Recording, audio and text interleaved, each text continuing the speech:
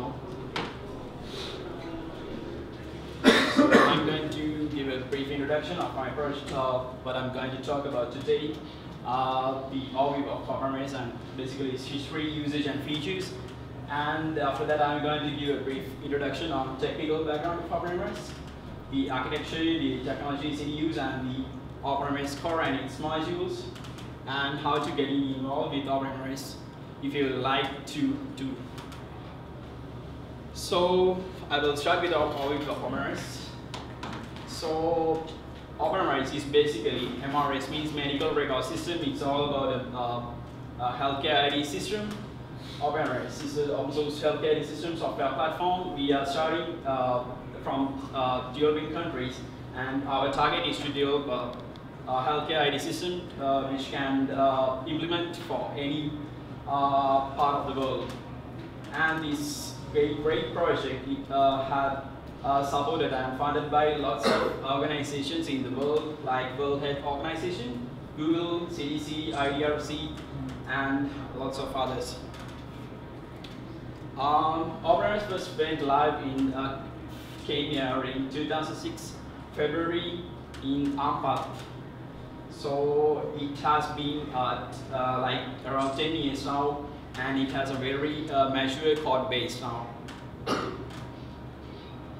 So information is carried, as I uh, mentioned earlier, you can uh, help writing codes and saving labs.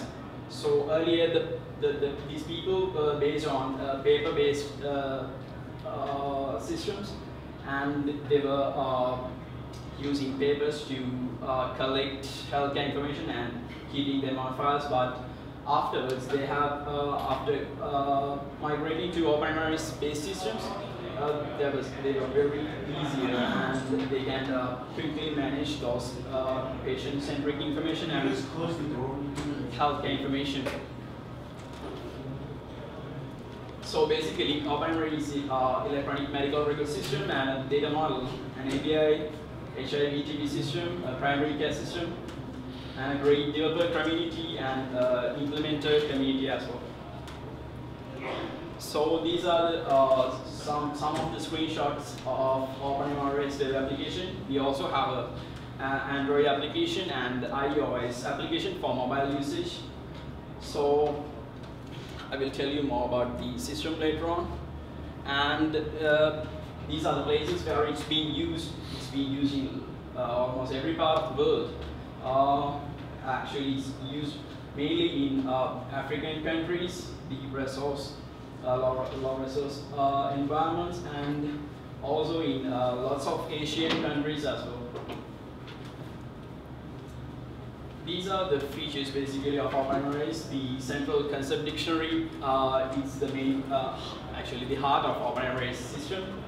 It's very extensible because of this concept dictionary and it has a security uh, authentication systems and privilege-based access for various roles like doctors, nurse, and uh, other healthcare uh, workers, and uh, patient repository. Um, I will tell you the others, uh, the, the, the, important ones, the standard support like HL Healthcare 7 and FHIR, uh, interoperability between systems, and um, things like that, and localization for various uh, languages. Um, I will give you a brief uh, technical background of OpenMRS system now. It's basically written, if you are a developer, it's basically written J2EE uh, and related its technologies. Uh, it's using Spring MVC and uh, Hibernate object relational mapping. Uh, and uh, in the service where it's using um, Java and it has a separate uh, OpenMRS framework built upon uh, Java APIs. And it has a REST API for web services, uh, connecting with web services, and Jasper coding. And uh, for the form, uh, form collection, it has a separate modules like uh, X forms and HTML forms. Um, So basically, OpenMRS is very extensible. Uh, it has uh, it has a modular architecture, and uh, um, some of the functionality uh, of OpenMRS is pulled onto modules instead of being written into module uh, core application. Uh, you can imagine it, it, it's, it's, it can implement from uh, clinics to highly complex hospitals. Okay, fine, it's over. Okay, it's over now? You have five minutes. You have five minutes. Okay. So from uh, small clinics to highly uh, complex hospitals, uh, you can cover up every uh, any uh, hospital using OpenMRS system. For small clinics, you can install the OpenMRS core the OPD module and set of other modules. For complex hospitals, you can install the OpenMRS with other the sections you need like laboratory, operation theater, pharmacy module, and etc. So if you need uh, uh, newer functionality, you can uh, use your own developers and uh, you can develop your own module and uh, integrate with OpenMRS Core. So uh, if you'd like to get involved with our great project, um, these are the ways you can contribute to OpenMRS, not only coding.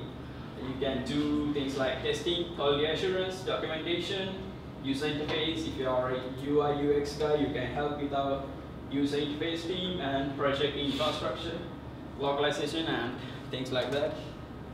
So for the more information, you can visit our website www.openmrs.org. And if you'd like to uh, learn more about our uh, project OpenMRS, join with our hands-on session today um, evening to uh, 3.30 to 4 at Open Space. Thank you very much.